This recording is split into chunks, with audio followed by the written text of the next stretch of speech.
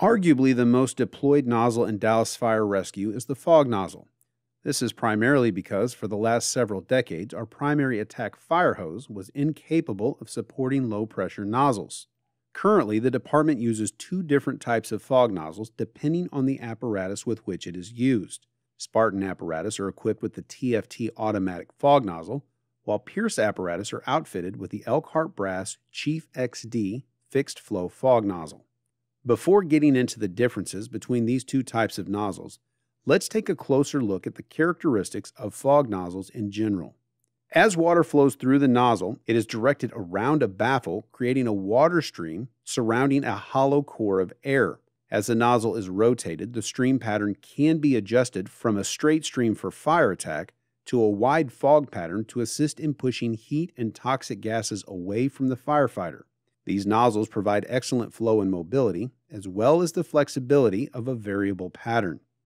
Both fog nozzles in use at DFR are designed to operate at 75 psi of nozzle pressure.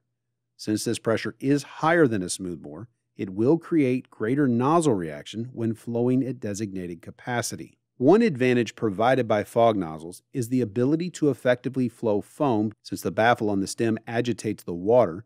The foam solution leaving the nozzle is capable of creating the proper foam blanket.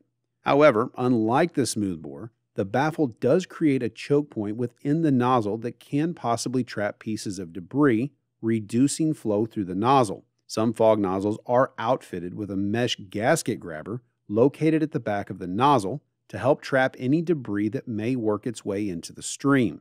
This filter should be checked and cleaned after each use. Another drawback to the fog nozzle comes with the increased number of moving parts.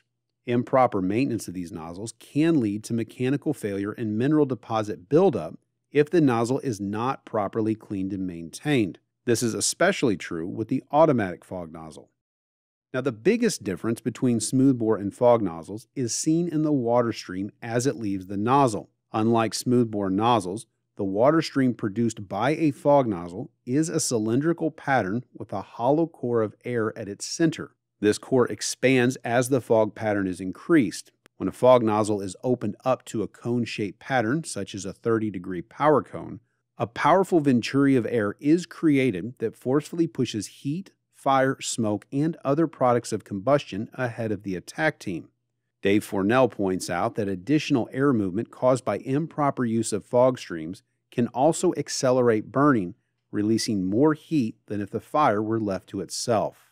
Another complication that can arise with fog nozzles comes with the droplet size created by the agitation of the stream itself. Multiple studies have shown that the average droplet size of a fog nozzle is between 0.25 and 0.35 millimeters. This is over 80% smaller than droplets created by a smoothbore. Because of the smaller diameter of these droplets, if applied in any type of fog pattern and if the velocity is not high enough, nearly 75% of your fire stream can evaporate at the ceiling if temperatures are at or near flashover. Anytime a fog nozzle is used for interior attack, the pattern should be kept in a complete straight stream until the fire is knocked down and overhaul has begun. So now let's turn our attention to the differences between the fixed flow and automatic fog nozzles. The fixed flow fog nozzle, equipped on all Pierce engines, is designed with a fixed internal stem attached to a baffle at the end. This stem provides a predetermined flow rate from the nozzle based on flow and required nozzle pressures. For several well grounded reasons, DFR has adopted a 75 psi fog nozzle.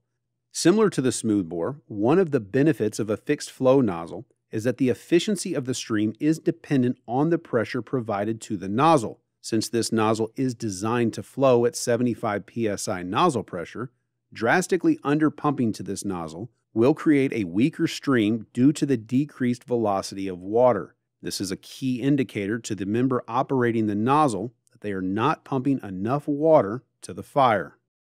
While the general design of the automatic fog nozzle carried on our Spartan fleet is relatively similar to the fixed flow fog, the key difference lies in an internal spring affixed to the stem of the nozzle. Unlike fixed flow fog nozzles, as the pressure and volume increase on the nozzle, the spring automatically adjusts the size of the discharge orifice to maintain a set pressure at the nozzle. This means that whether you're flowing 70 GPM or 200 GPM, the nozzle pressure will remain at 75 psi and your nozzle will produce a consistent stream pattern.